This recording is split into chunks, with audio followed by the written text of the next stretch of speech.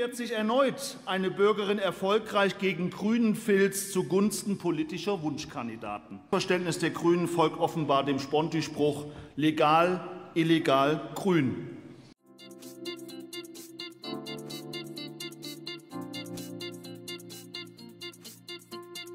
Sehr verehrtes Präsidium, liebe Kollegen, ich möchte mich bei den Kollegen der CDU bedanken, die mit dieser Aktuellen Debatte unserer AfD-Fraktion einmal mehr die Möglichkeit geben, uns als bewährte und erfahrene Anti-Filzkraft zu empfehlen. Stichworte Tüger, Stichworte Eumann, Findungskommission.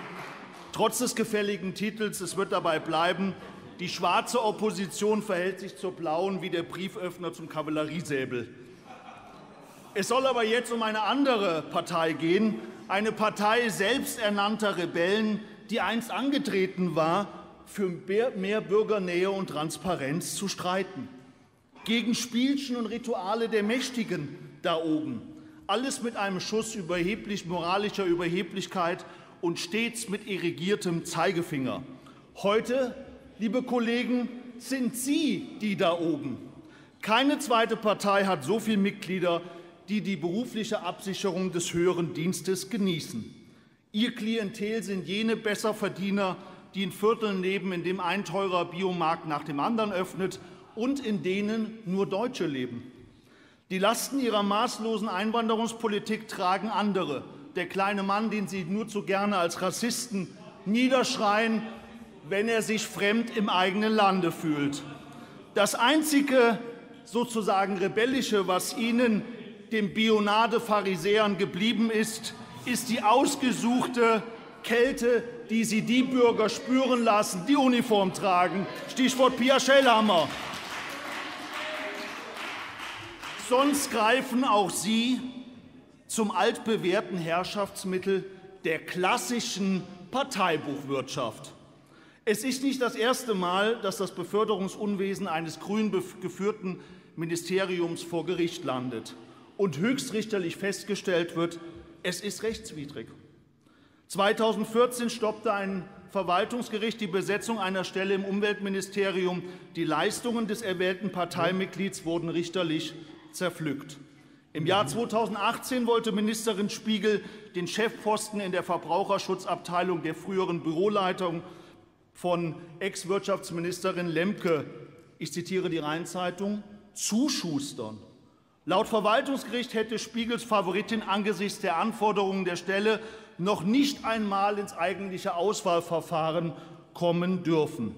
Denn, so die Richter lapidar, ihre Eignung sei so wörtlich durch nichts belegt. Nun wehrt sich erneut eine Bürgerin erfolgreich gegen grünen Filz zugunsten politischer Wunschkandidaten. Eine angebliche Stehzeit, also Wartezeit bis zur nächsten Beförderung, gilt im Hause Höfgen wohl nur für politisch weniger Pflegeleichte, Sie ist rechtlich unhaltbar. Bemerkenswert ist die große Zahl der Beförderungen auf A 16, die mangels Qualifikation durch Sondergenehmigungen erfolgten. Es gibt im Umweltministerium offenkundig eine Überholspur für politische Wunschkandidaten. Qualifikation, Nebensache, Ausschreibung, wozu? Man kennt sich, man hilft sich. Aber lassen wir das Oberverwaltungsgericht selbst sprechen. Es vermisst jegliche Feststellung von Leistung und Eignung und Befähigung, die vom Ministerium eingeholten Einschätzungen seien vielmehr nichtssagend und substanzlos. Mehr noch, die Beförderungspraxis im Höfgen-Ministerium habe derart gravierende Mängel, dass Bestenauslese und Leistungsprinzip unterlaufen werden. Die konkrete Auswahlentscheidung, über die wir heute unter anderem sprechen, sei deshalb grob rechtswidrig. Es stellt wohl einen beispiellosen Rüffel dar, wenn ein Gericht eine vereidigte Ministerin an die Verfassung erinnern muss.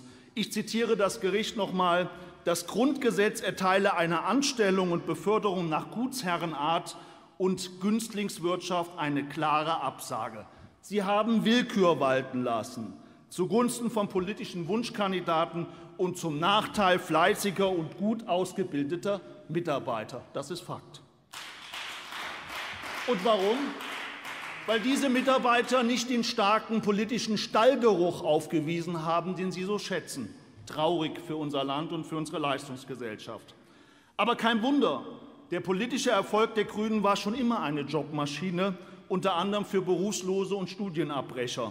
Also die Fischers und Roths der Republik. Wenig Ahnung, viel Meinung und das ist bis heute so.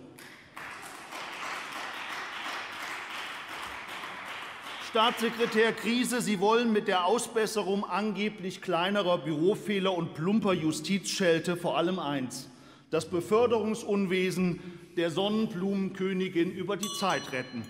Diese Strategie wird nicht aufgehen, letzter Satz, denn mittlerweile mehren sich ja die Stimmen aus Ihrem Hause, die von einem jahrelangen System sprechen, Beförderung nach grünem Parteibuch und das Zurechtzimmern von Stellen für politische Wunschkandidaten. Und wir werden Sie damit nicht durchkommen lassen. Frau Höfgen, treten Sie zurück.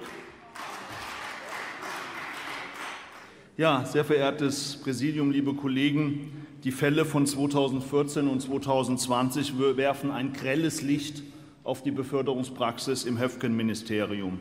Leistungen von politischen Wunschkandidaten wurden hochgeschrieben oder konstruiert. Sie hielten dann einer juristischen Prüfung nicht mehr stand. Alle anderen ohne den politischen Stallgeruch, den Sie ja so gerne haben, hatten mit Schwierigkeiten zu kämpfen, obwohl sie Leistung gebracht haben, obwohl sie fleißig waren und fielen dann hinten runter, mussten ihr Recht sozusagen erst vor Gericht erstreiten. Das ist nicht der einzige Fall. Ich komme noch auf einen weiteren Fall im Spiegelministerium zurück. Das Rechtsverständnis der Grünen folgt offenbar dem Sponti-Spruch legal, illegal, grün. Frau Spiegel, der Präsident des Oberverwaltungsgerichtes rügte in der Vergangenheit mehrfach das Verfahren, Ihr Verhalten in Asylverfahren. Sie haben Abschiebungen verhindert, obwohl deren Verhältnismäßigkeit schlichtweg juristisch festgestellt worden ist. Die offenkundig gefährliche Logik hinter diesem Treiben ist folgende. Sie fühlen sich, unsere grünen Freunde fühlen sich als moralische Großmacht, die sich um nicht mehr viel scheren muss. Wozu Recht, wenn man sich im Recht befindet? Das ist ihre Logik und die ist gefährlich für die Demokratie. Bei der Beförderungspraxis, aber eben auch bei der Einwanderungspolitik. Und wir als AfD-Fraktion machen uns deshalb die Forderung des Bundes der Steuerzahler zu eigen, ausgehend vom Umwelt- und Integrationsministerium alle Beförderungsvorgänge zu prüfen. Ob diese Günstlingswirtschaft, so scheint es ja, nicht wirklich System hat zum Nachteil von qualifizierten und fleißigen Mitarbeitern. Und wir hoffen, Wir hoffen, Frau Höfgen, dass Sie dieser Untersuchung durch den Landesrechnungshof nur noch als Zaungästin beiwohnen. Das sage ich Ihnen ganz ehrlich. Vielen Dank.